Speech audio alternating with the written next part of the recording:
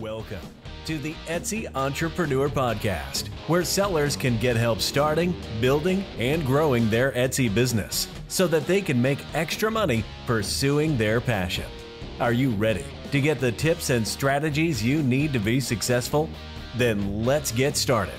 Here is your host, a top 1% full time Etsy seller, LL. What's up, guys? Welcome back to the Etsy Entrepreneur Podcast.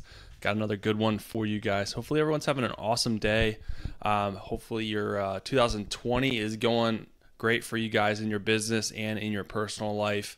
Um, it's uh, really important that uh, everything's clicking. So, hopefully, that's going good for you guys. Um, and I got another good podcast for you today. I do get uh, a lot of questions about this. So, I want to go through a couple of uh, tips and tricks and tactics, really um, to help you guys out the best I can uh, from my experiences. So um, I want you to get a lot out of this podcast. So what I want to talk about today is customer service.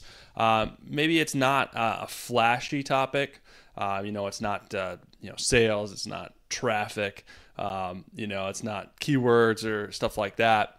Um, but it is probably the most important thing uh, that a lot of times we overlook um, in business and in e-commerce rather because we forget that without our customers there is no business. So we have to make sure that we are delivering the utmost best customer service out there. Uh, and as you guys can imagine you can remember a time pretty easily probably where you were not given good customer service. Um, we can all we've all been there. We've all got our orders uh, messed up. We've got our the wrong food delivered. Um, you know, we've had people uh, checking us out that were terrible people, that were just miserable uh, people that just wanted to ruin your day. Um, so we've all been there. We all know when uh, when people are delivering us uh, terrible customer service. Um, but you can also probably remember a time where you were given really good customer service. Maybe you made a phone call to a company or you sent an email to a company and they really went above and beyond uh, for you uh, to help you out. So that kind of you can think about how that made you feel and that you probably wanted to return to that business and patron that business again and uh, continue buying their products or buy more products um, etc just from that uh, customer service so it's really not a hard thing to deliver customer service but it um, it's something that we overlook and uh, maybe we just kind of uh, skate by and, and do it kind of haphazardly. So I want to give you some tricks to help you out. Not really tricks, these are just tips to help you guys out to make sure you're giving that uh, good customer service. So the first thing that I want to talk about is your customer reviews. Um, these are paramount when it comes to Etsy and really any business. Most of you guys probably look at reviews all the time for a new restaurant, when you're traveling, for a hotel. Um, Etsy is no different. You know, customers are allowed to leave reviews for you. Um, not every customer will leave reviews. I've seen people freak out because they um, customers aren't leaving reviews. Uh, I think it's about one percent, or maybe even a little bit less, that actually leave reviews for you. So that's why it's even more important with that small populace of people um, to make sure that you are delivering good customer service to snag those good reviews when they do decide to leave them. I believe that Etsy does remind them to leave a review. I think they have an automated email or something like that. You guys can also put a message on your packing slip uh, reminding them to leave a review or reach out to you first if if there's any problems with their order.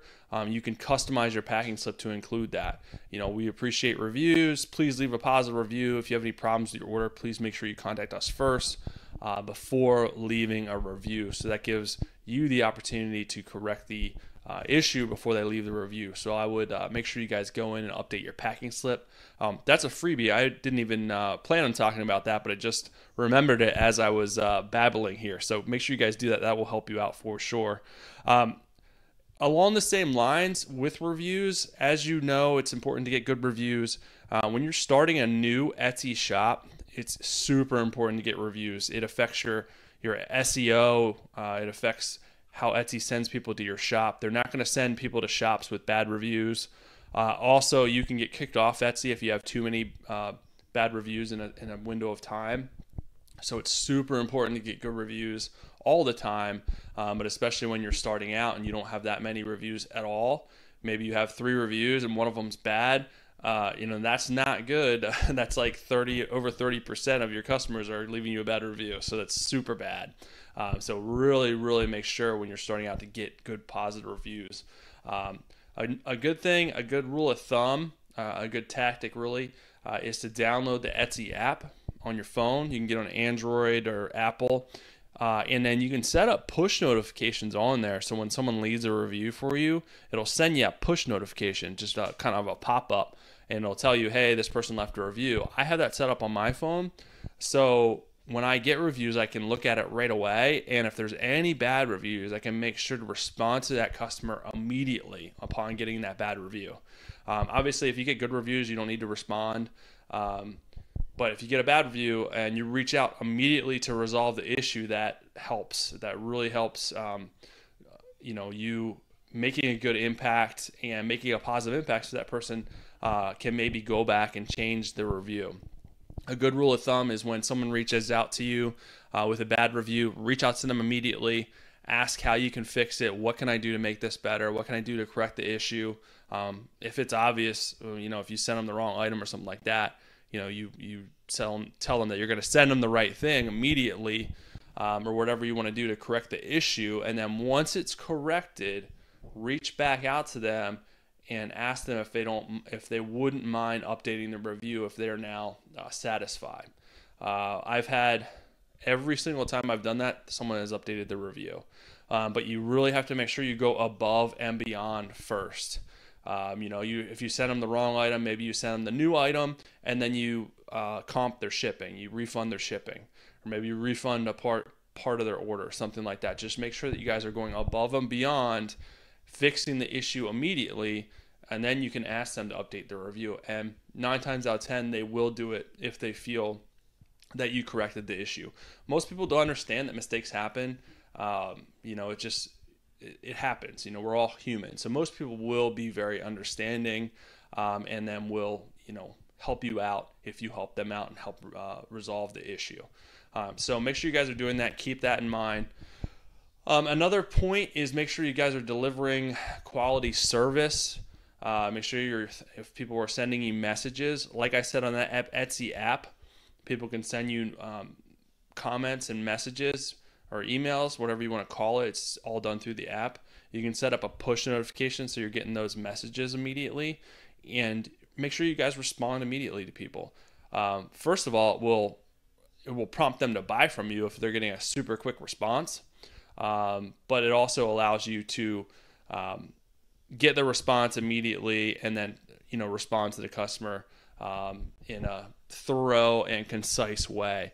Um, just don't respond with one word answers. Um, always make sure you're welcoming them, welcoming, if I can say this right, welcoming them to your shop and thanking them. So I always, you know, when someone reaches out, maybe they ask me a question about sizing, something like that. I always give them a greeting like, hello, thanks so much for checking out my shop. Um, and then here's the answer to your question. Have a great day, or something like that. Or you answer their question, hello, answer their question. Thanks so much for checking out my shop. Have a great day, something like that. Um, just be appreciative of them finding you, checking out your shop, and make sure you have a thoughtful response to them.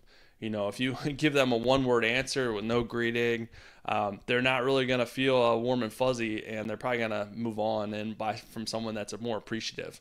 Um, and on Etsy, a lot of shop owners are to, do take a lot of pride in what they sell, and they're super um, you know responsive and very appreciative of their customers. So just make sure that you guys are uh, doing the same thing in your responses to customers because uh, it will increase your conversion um, and they're more apt to buy from you or come back and buy from you again. So just keep that in mind. Uh, another big point, and this may seem obvious, but make sure you guys are delivering quality products um, as well as quality shipping. So um, make sure you're selling, you know, you're, you're giving people what you're selling them online. Um, so if you have something, a certain quality of item, and then you're giving them a different color or a different quality of item, they're not going to be happy. So make sure you're giving them the quality of item that they want and make sure that that is a high quality item. You're not cheaping out on materials or something like that. They're not going to be too happy. Um, and then just make sure you're shipping it. Make sure you include a packing slip. Make sure it's wrapped appropriately. Uh, make sure it doesn't look like um, someone you know donated it at uh, Goodwill or something like that. Just take pride. Make sure you're just wrapping it appropriately and uh, including a packing slip. Those that's really the main thing. You don't have to go overboard with shipping supplies and get crazy expensive shipping supplies. Um, just make sure your stuff is quality um, and that you're taking pride in just you know packing packaging your stuff uh, you know appropriately and not just throw, throwing it in a bag and putting scotch tape around it and selling it to them because um, they're gonna chances are I probably won't make it without falling out of the bag but they're gonna get it and be like what the heck is this uh, pile of junk so um, just take pride in what you're doing as far as offering quality and shipping quality. Um, the next thing, uh, and this is kind of circling back. I kind of got on this tangent before, but it's uh, you know if you do make mistakes, which you will, especially if you ship your own stuff, you will absolutely make mistakes. Uh, just make sure you go above and beyond fix the mistakes, and part of that is reaching back out to them as soon as possible. That will really help alleviate it. Um, you know, there was there's been a couple times where I've sent people the wrong stuff. I mean, it happens. I've mixed up orders. It happens. It's embarrassing, but it, it, it really happens. Um, you know, I sent an order to someone where they needed it for, um, they needed a couple of shirts for a special event. I guarantee that they would have it, which was a mistake. But according to USPS, they should have had it in time, but you can't always count on that. Um, so I felt terrible that they didn't get it, and they were really upset. A lot of times you can see kind of how upset they are with how they reach out to you initially. So you know, like your response better be good, and you better come back uh, with something good for them, or they're gonna leave you a bad review. Um, so just keep that in mind. But I knew that they were upset because I told them that they would have it, and they didn't. Um, so what I did was I refunded their order, allowed them to still keep the uh, the shirts, and then I offered them two additional free, completely free shirts. Uh, because in the scheme of things, um, it's not really going to make that big of a difference. Um, but bad reviews make a big difference in your shop. Um, and like I said, you get too many bad reviews in a short period of time, it can really hurt your business. Reviews are everything. So going above and beyond um, really helps. So kind of feel out the customer and see, but at a minimum, fix your mistake.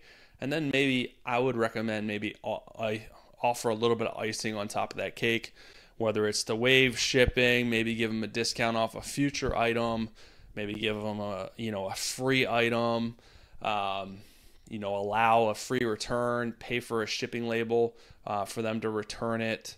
Um, there's a number of things that you can do to kind of go above and beyond and get back in good graces uh, with your customer.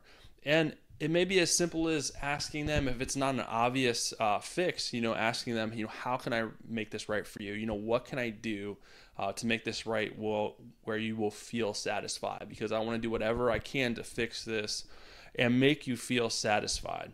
Um, so maybe you kind of put the ball in their, their court and, and a lot of times it's not as um, it may it may not be as uh, expensive is something that you were going to do. It may be something more simple, you know, maybe it's a few bucks off or something like that. Um, you know, it may be something really simple.